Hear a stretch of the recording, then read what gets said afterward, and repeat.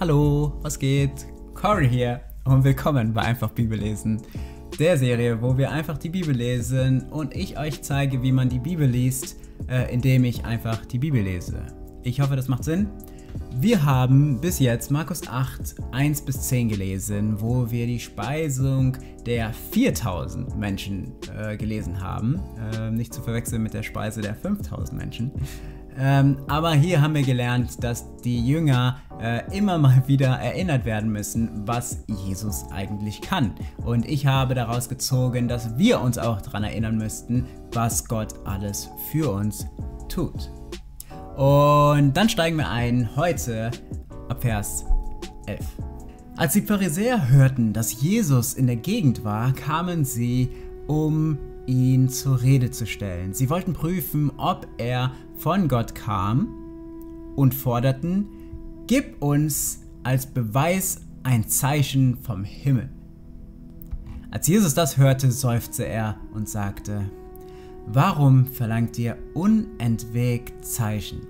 Ich versichere euch, niemals wird dieser Generation ein Zeichen gegeben werden. Und er stieg wieder ins Boot, verließ sie und fuhr über den See zum anderen Ufer.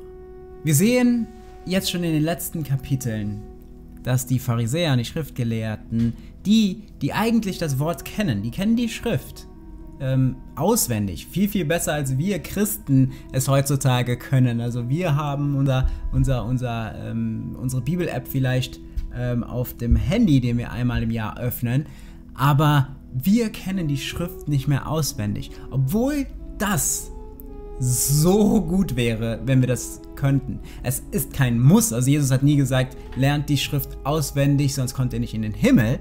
Aber es gibt genug Bibelverse, die sagen, hey, Tag, äh, äh, äh denkt Tag, also den ganzen Tag über meine Worte, denkt den ganzen Tag über die Schrift nach. Und rein theoretisch sollten wir, und es wäre so viel besser, wenn wir diese Schrift auswendig lernen ähm, würden. Ähm, nicht um es auswendig zu können, also einfach nur um vorzutragen, sondern dass das in unserem Gehirn, dass wir uns da die, die ganze Zeit dran erinnern. Kurze Zusammenfassung, was hier gerade passiert ist. Jesus wurde von Pharisäern äh, äh befragt oder äh, äh, getestet, sozusagen, hey, wenn du doch von Gott gesandt bist, so, dann zeig uns so ein Zeichen vom Himmel. Und das ist ja, ist ja, ist ja erstmal, ist ja nicht das Schlimmste eigentlich, um zu fragen, hey Gott, zeig mir etwas. Aber das Ding ist ja immer die Herzenshaltung. Und die Herzenshaltung der Pharisäer ist, ähm, auch wenn ein Zeichen vom Himmel kommen würde, und das geht es uns meistens ja auch, auch wenn wir ein Zeichen sehen werden, was wir häufig sehen, also wir sehen Wunder und alles, die wir aber dann mit irgendwas anderes äh, äh, ähm, ja, erklären wollen. Und genauso wäre das mit den Pharisäern auch gewesen. Sie haben ein verstocktes Herz. Sie haben sozusagen ihre Antwort schon. Ähm, ah, das ist eh nur ein Irrlehrer, bla bla bla. Der ist sowas von unwichtig. Zeig uns doch, was du kannst. Und deshalb ja, möchte er gar nicht auf ihren Forderungen eingehen. Aber Jesus geht auch später nochmal drauf ein. Und deshalb lesen wir jetzt weiter. Vers 14. Die Jünger hatten vergessen, etwas zu essen mitzunehmen. Ihr gesamter Proviant bestand nur aus einem einzigen Brot. Während sie über den See fuhren, warnte Jesus sie. Nehmt euch in Acht vor dem Sauerteig der Pharisäer und dem Sauerteig des Herodes. Sie glaubten, er sagte das, weil sie kein Brot mitgenommen hatten. Jesus wusste, was sie dachten. Deshalb sagte er, Warum macht ihr euch Sorgen darüber, dass ihr nichts zu essen habt? Werdet ihr denn nie lernen oder begreifen, sind eure Herzen zu verhärtet, um das zu verstehen? Ihr habt doch Augen, könnt ihr nicht sehen? Ihr habt doch Ohren, könnt ihr nicht hören? Erinnert ihr euch denn nicht, was mit den 5000 Männern, die ich mit fünf Broten satt gemacht habe, wie viele Körbe voller Reste habt ihr anschließend gesammelt? Zwölf, sagten sie. Und als ich den Hunger der 4000 Menschen mit sieben Broten gestillt habe, wie viele Körper mit Reste habt ihr da eingesammelt? Sie sagt, sie antworteten, sieben. Da fragte er sie, begreift ihr denn immer noch nicht? Jesus ist immer mal wieder hart zu seinen Jüngern. Und wir sehen wirklich so seinen Charakter. Der Charakter von Jesus ist, er ist wirklich liebevoll zu diesen Menschen, die, zu die, ähm, die Hilfe brauchen, die krank sind, die Bedürftigen und ähm, ja, und die äh, Gott suchen.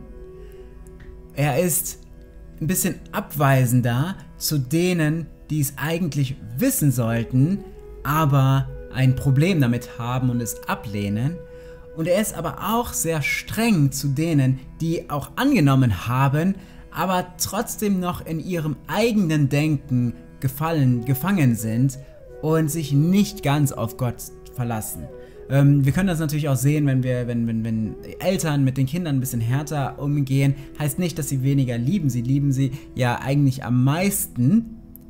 Aber um eine strenge Erziehung ist meistens einfach gut, damit sie wachsen. Und ich glaube, genau das ist das, was Jesus auch tut. Jesus erzieht seine Jünger. Aber gehen wir ein bisschen darauf ein, was er hier gesagt hat. Also erstmal sehen wir, als sie auf dem Boot waren, hatten die, haben die Jünger wieder nur darüber nachgedacht, hey, wir haben gar nicht genug zu essen, obwohl sie zwei riesengroße Beispiele äh, an Wunder gesehen haben, dass es niemals an Essen mangeln wird. Wenn Jesus da ist, ja, dann wird es niemals an Essen mangeln. Also macht euch keine Sorgen. So, ihr könnt zu Gott, äh, ihr könnt zu Jesus gehen und vielleicht fragen, hey, ähm, kannst du aus diesem Brot vier Brote machen oder sowas. So, das ist so ein, ich weiß nämlich, dass du es kannst. Im Vergleich zu, hm, wir haben nur ein Brot, was machen wir jetzt? Obwohl Jesus direkt daneben ist. Aber was Jesus, wo Jesus eigentlich drauf eingehen möchte, ist auf die Pharisäer und den Teil davor. Und zwar sagt er, nehmt euch in Acht vor dem Sauerteig der Pharisäer und dem Sauerteig des Herodes. Was bedeutet das? Was bedeutet das? Der Sauerteig steht hier für ansteckendes Fehlverhalten oder ansteckende Irrlehre, das sich langsam und still verbreitet und alles beeinflusst, womit es in Berührung kommt. Also Heuchelei, krampfhaftes Halten an Ritualen und diese Weltlichkeit. Das ist etwas, was sich verbreiten könnte und wo Jesus vorwarnt. Und weiterhin fragt er die Jünger so, hey, ihr habt doch Ohren und ihr habt doch Augen zu hören und zu sehen, so warum macht ihr das nicht? Und natürlich meint Jesus das nicht physisch gesehen, weil die Pharisäer haben auch Augen und Ohren, außer die Leute, die keine Augen und Ohren haben. Aber im Allgemeinen haben sie doch Augen und Ohren. Also worum geht es hier? Und wenn Jesus von Augen und Ohren redet, dann geht es wieder um eine Herzenshaltung. Ähm, und die Gabe, die nicht jeder hat.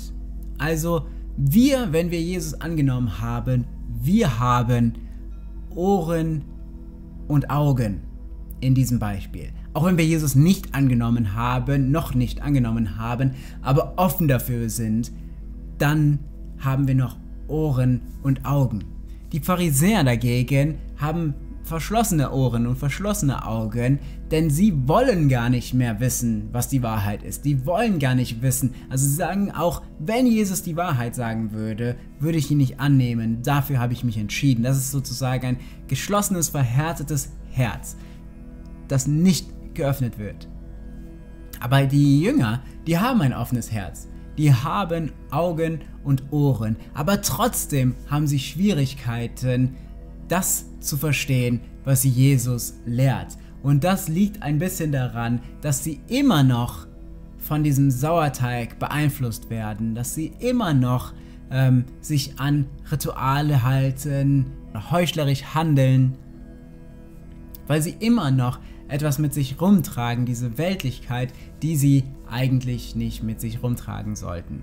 Und das ist immer so einfach zu sagen, aber so geht es uns auch. Also wir wissen, was gut und böse ist. Wir wissen durch den Heiligen Geist, der zeigt uns ja, was wir tun sollten und was wir lieber sein lassen sollten. Aber trotzdem entscheiden wir uns meistens oder oft für das Falsche. Obwohl wir die Augen haben und die Ohren haben, egal ob wir hören können, ah, das ist was Falsches oder sehen können, das ist nicht der richtige Weg, gehen wir doch trotzdem manchmal den falschen Weg.